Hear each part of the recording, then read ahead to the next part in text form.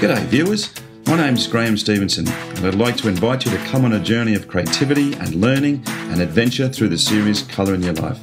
There's an artist in every family throughout the world, and lots of times there's an artist deep down inside all of us as well. So grab your kids, your brothers, your sisters, your aunties, uncles, and mums and dads, and come and see how some of the best artists in Australia do what they do.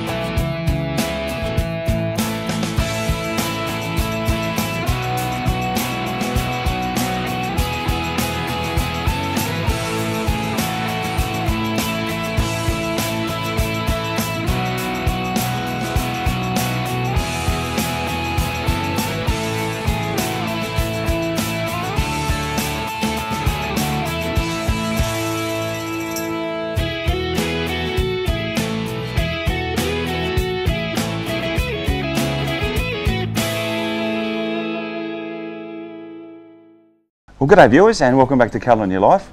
The things we do for art's pretty amazing. I've just been riding uh, on a freezing cold winter day down near Shepparton, near Merrigum, on a Harley Davidson, and I've come to see an amazing artist, Mr. John Anderson. Welcome to the show, mate. Graeme, thank you. It's wonderful, to, wonderful to be here. We're actually in John's uh, shed at the moment, and uh, he's going to be taking us through the process today of actually how he puts his canvases together. And he makes his own, and they're pretty spectacular looking stretches as well. But John and I have a very similar situation as far as our careers is concerned is that we're both avid, or I was once, uh, bird painters. And John's a naive artist that paints birds in a really spectacular way. You'll see a lot of the images screened in as we go along. Where did that influence come from? I mean, why do you? And I know that you spent a little bit of time in Indonesia. You're a teacher. I mean, John's really the quintessential artist as far as sculptor, pottery, ceramics. The guy does it all. Extremely right brain man, unbelievably creative. Where did, how did all that start? And how did you develop that style that you got now? Well, in the beginning, I started uh, drawing small pictures and painting small paintings. And over the last sort of 20 odd years, I've evolved to creating this product. I mean, your style is extremely different to what I've seen, particularly when it comes to uh, portraying our Australian native birds. And you're you're an expert on the on the Latin terminologies with them as well. I mean, you really want to know everything about start to finish. Uh, you had Neville Cayley's book. What bird what, is that? What bird is that? And that's obviously influenced you a lot of the way. And Huge influence on me as a child. Yeah, as a, as a kid, you've obviously started drawing, but developed this style yourself, and it's ex- extremely individual. It's amazing what he's done. Developed it to where it is now, and um, we're going to go through the process today with John and see how he puts these stretches together. Uh, talk a little bit about his history as well as we go along, and then we're going to go into his studio inside his beautiful country home, and we're going to see some more of his works in there, and then we're going to go through a couple of different processes a day on how he puts together what he does. So it's going to be a really exciting day. Pity it's so damn cold. It's okay. it's warm here. We'll get the fires. There's fireplaces everywhere. but uh, we'll make a start on it, okay? Sounds good to me. Excellent.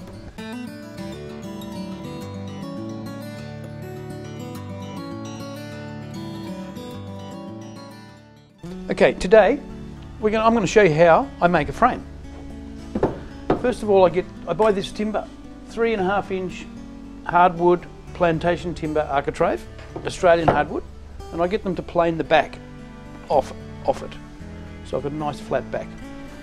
Then, with my tape measure, I make my measures, and I make a cut like this. Pretty simple. It's fairly straightforward, fairly simple. But you like that wide format, don't you? I love that deep format Yeah. It's very, it's very iconic towards your work as well. I get a chance, I can write my signature on it. Yeah. I can tell the story around the edge. I don't have to put anything on the frame, on the front. All right. Now what now? Okay, so next I'd make a 45 degree cut.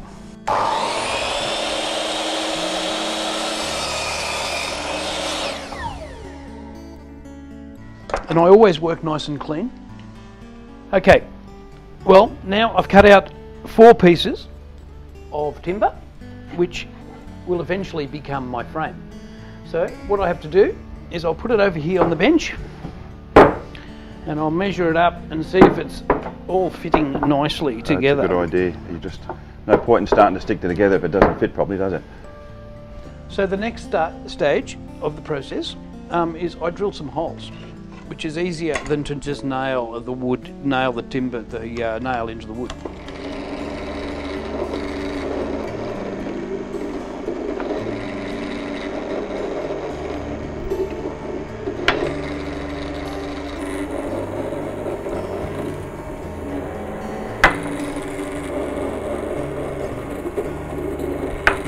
always work clean. Try to be fairly precise with your measurements and your cuts. Done. Excellent. Okay, the next stage of assembling this frame, I'm going to tack it together. So first of all, I put a little bit of glue. So you need a lot of glue or just, Oh, just enough. just enough to, Make it happen. sure. And then I literally tack it together.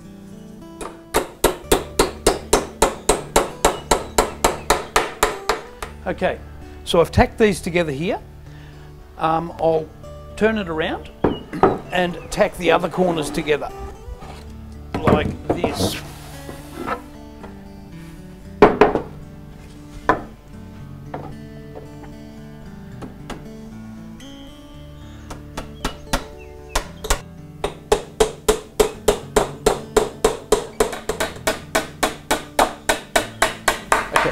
Part of the frame that I'm going to, to put in is the brace in the middle.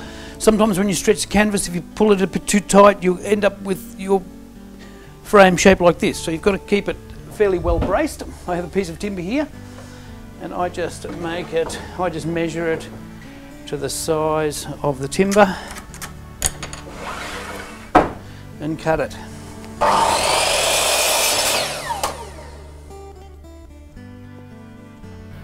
So I've put a bit of glue on there. I've marked out basically my centre. And now I just tack it together.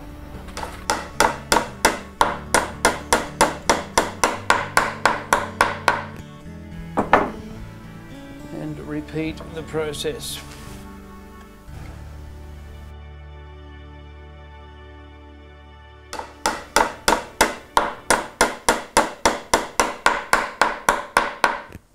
So we've finished the frame. Now let's stretch some canvas Okay. over that frame. So what type of canvas you got here? This is a seven ounce cotton duck. That's oh. enough. Okay. Beautiful. Lovely. Now, we're putting this curved edge down. Okay, with my little ruler, I've marked out three inches for the depth plus half an inch for the width. So we want to cut out four inches of canvas all the way around. Okay, that's pretty much what I do here. Okay. And with my trusty pair of scissors, I will cut out All the way through. actually right to the end. I go. Okay.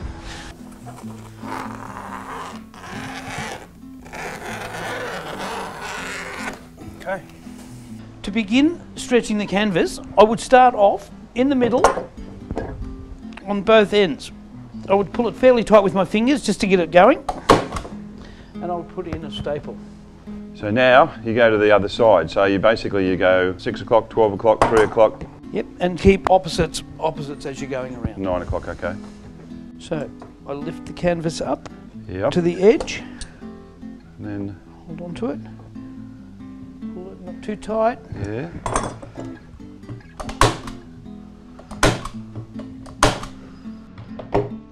and then I just repeat the process.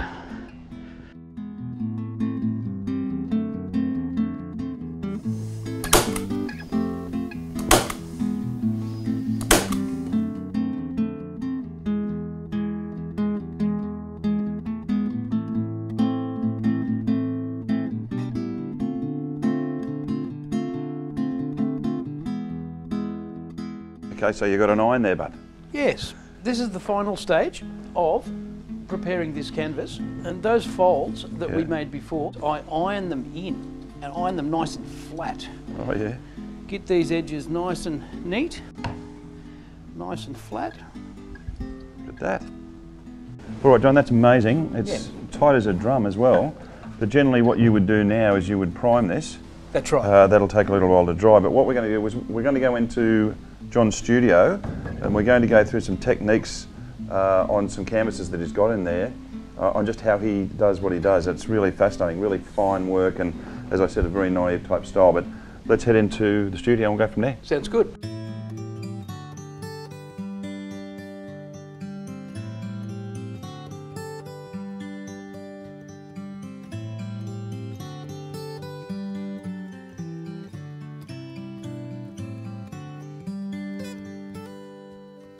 Okay, well we've just come out of the shed and uh, done the canvas with John, stretched it all, looks fantastic.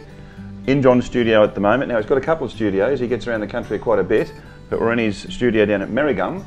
And as you can see, he's made a really solid start on a painting, but we're going to go through a little bit of a few things. It's, it's very from the heart, your work, isn't it? Um, it's a very organic style, absolutely. Yeah, but what we're going to do is, he's, he's suddenly come to a place where he's really not happy with this particular section in Yeah, here. well, well, what happened was when I composed this piece Mm. and I started painting it, I realised I've got the black neck coming over the black body here and here, and I'm thinking it, that doesn't sit right with me. So I'm going to block that out Okay. and repaint it. Let's go for it then. Okay.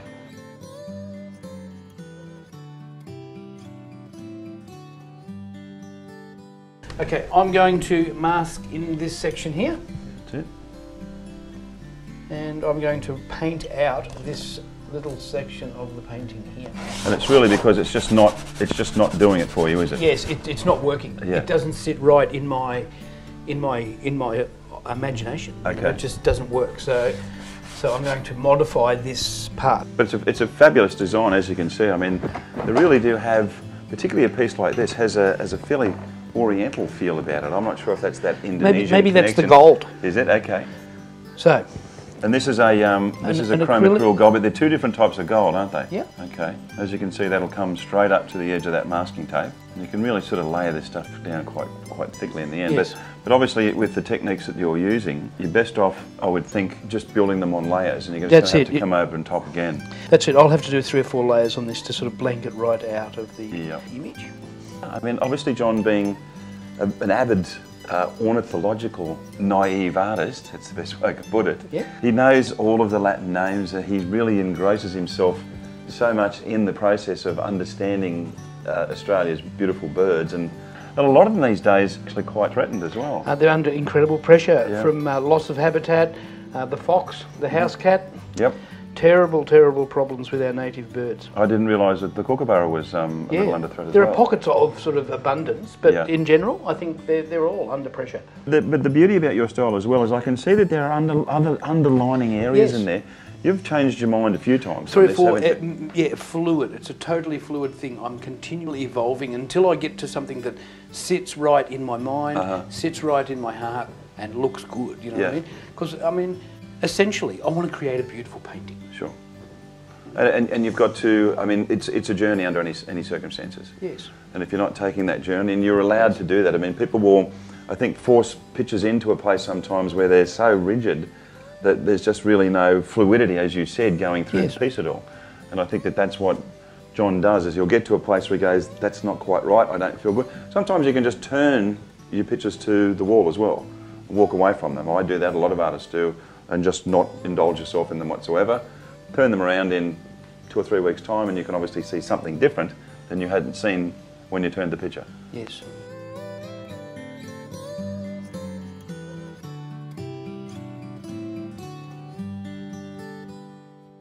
What I might do is I might just let John work on this because obviously this gold has to dry, but uh, what he tells me he's going to do is he's going to work on the spines of this particular ibis and then bring up some other highlights, um, but we'll come back uh, when that's a little dry.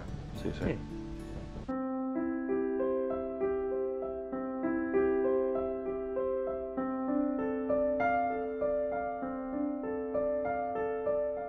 Okay, well that's dried off a little bit, but you want to really clean up those edges now, don't you? Yes, so what I'll do is I've got a little bit of black paint here, Yep. and what I'll do is I'll just make these edges nice and neat again.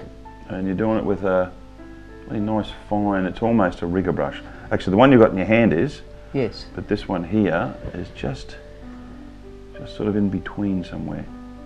So, looking at your work and your uh, your CV, you're a completely self-taught painter, Yeah, for me, I'm, I'm very much self-taught. and it, you really use the paint directly out of the bottle as well, too, don't you? There's the colours there.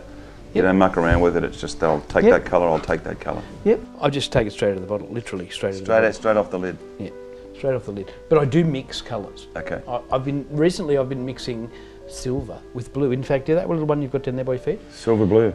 Um, I've been mixing silver with blue, and I'm getting like these iridescent colours. But this beautiful little painting, and it's it's a piece of artwork on its own. But I think that you could probably put a number of these in various sections on your wall, which I think would look quite fabulous in the right type of room. Yes. But as you can see, yellow, straight out. Now I'll do this over a couple of times, and I'll Mhm. put a couple of different layers of yellow into it. But Yeah. uh, that's the line that I'll, I'll work with. Well, what we're going to do after this, because John has some pen techniques that he uses within his work as well. So we're we're going to go from this one to a smaller one that he's got of some uh, some small Yellow rump thornbill. yellow rump thornbills, and um, we'll look at some more techniques with that as well. I've always felt compelled to paint pictures. I've always felt like being an artist. I've always felt it was a part of my vocabulary, and it was something that I could do. And it's it's with me all the time. Well, I mean that's that's what being truly right brained is. Right brain. You were born that way, I think so. and you told me before you were born at an early age. Well, that's what my mother keeps saying anyway. I think that's great. That's what my old mum keeps telling me. You were born at an early age, don't forget that.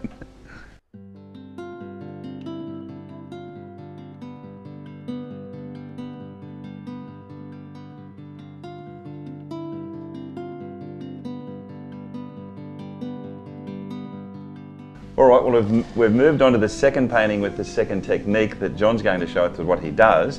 And you're actually using pens in this as well. What type of pens are they? Um, they're a Uniball, Uniball? Okay. um, Mitsubishi. Mitsubishi, it's a Japanese pen. It's a Japanese pen. Get out of here. Best pen. So, so you've got different sized um, nibs on the end of these? No, no, no. Just the one All size? the one standard format. Yes. Oh, okay. So it's a really different. I have never seen anybody do this actually in their paintings before, but it really looks quite spectacular. You're going to demonstrate to us how you use the pens on a finished product as well, or, or almost finished anyway. Far away. Okay. So what I do is, I paint the image, Yep. and then I put the line around it. I put the line around the painting with this, and it just highlights it. It makes it a different image. Yeah. And that's just obviously very painstaking. Very painstaking. to do all of that. laborious. Have to be a little bit careful. Nice and neat. Always work neat is the best. Yeah. But this is the beauty about your work. When you look closely at it, there's these intricate, delicate details all Yeah. through the whole thing. So do you ever use, when you're using the pens, do you use them just as a liner or do you shade with them as well? No, I just put a line around my painted form. Okay. It's like a highlight around each edge. It, it's like a defining line. Oh, it looks, it looks amazing. You're obviously using the Chromacryl paints, the, the acrylics. I don't think that you could do this with oils. No, It will just sl- slide straight off the top. absolutely. Yeah, the Yeah. pen would not work with an oil-based paint. Um, this little bird, the yellow rump thornbill, it makes a, uh, a nest with a false nest at the top, Yes. and it makes a little side entrance, and it goes into the into the internal nest and lays its eggs Isn't inside just amazing? the nest. And the the false nest at the top is because they have a host bird, which is one of the cuckoos. Okay. And uh, the cuckoo quite often lays an egg in this bird's nest. Yes. They are very similar. And uh, so this bird has developed uh, a strategy to deceive the cuckoo by building a false nest in the top and a little secret side entrance. That's so it's sort of like it's evolution Yeah. uh, manifesting before our very eyes. It's Yeah. wonderful. Yes.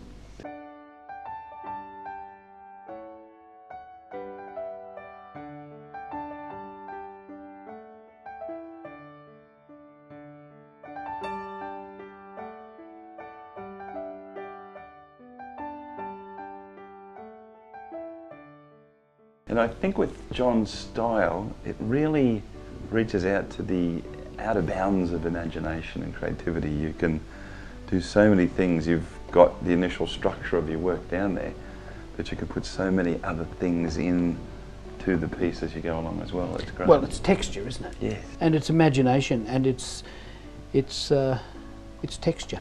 very cathartic. You just sort of sit down once your paint's dry and Yeah. use your pens to sort of wander off into another place.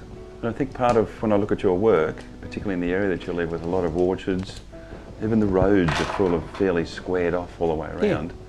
There's, exactly. there is a real pattern and it actually Agreed. appears in your work as well, Yes. particularly with the clouds. The, the reoccurring motifs, yeah.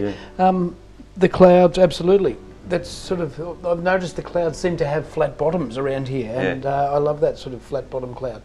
And yeah, it's um, it certainly is a geometric environment. and it comes out in your work, absolutely does. So I usually put my signature on the side here. I think that's just great. And it's once again, it's uh, Very much like you, very stylised Yeah. all the way through. And you know, most most artists stick their signature on the front. I leave the front for the painting. Yes. The painting says it all. Yeah, that's a great idea because you've got such these these grand borders around the side of them that Yes. facilitates you being able to do that. Yes, and also I write things around the edge sometimes, Okay. like um, um, what sort of bird it is. Yeah. Um, sometimes it's a Latin name. Mhm. Um, just a general sort of somewhere to write without actually interfering the with, picture. with, the, with the actual image. Yeah. That's wonderful.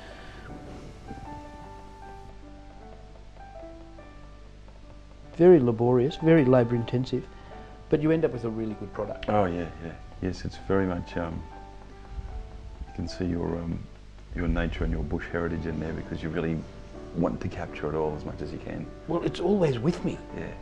I'm always thinking like a painter would think. I'm, imag- I'm, I'm imagining I'm thinking like a painter. I, I think in colour. I think in texture. Well, another fascinating day with a very, very interesting man. We're down here at uh, Merrigum. John, pleasure, mate. Thank you, Graeme. Thank you so much for having us in your studio and your shed. Obviously, seeing the canvas stretched and all of these beautiful techniques that you Now, it takes John a long time to paint his paintings. That's why we could only do some small sections of two of those today. But really fascinating stuff, and your knowledge of natural history and birds is amazing as well. Thank you. Yeah, it's very, very, very good. Um, but yeah, we've really, really had a great time. Uh, as always, we want to thank uh, our sponsors, Chroma. Uh, as you can see, that John was using Chromacryl paints today, and they really are uh, fabulous paint. Uh, don't forget to also come in and see us on Facebook as well these days. We've got a huge Facebook community, so come in and like us on there. But also, if you want to see more of John's work and all of the other great artists, you can come into colourinyourlife.com.au. Uh, come and talk to us. We've got a whole bunch of things going in there, events, lots of great stuff. You can even have a chat to Jan, John. Uh, also, your website is johnandersonart.com.au. So if you want to see some of John's work and go and have a talk to him, that's where he'll be as well. But until we meet again, remember, make sure you put some colour in your life. See you next time, guys. Bye.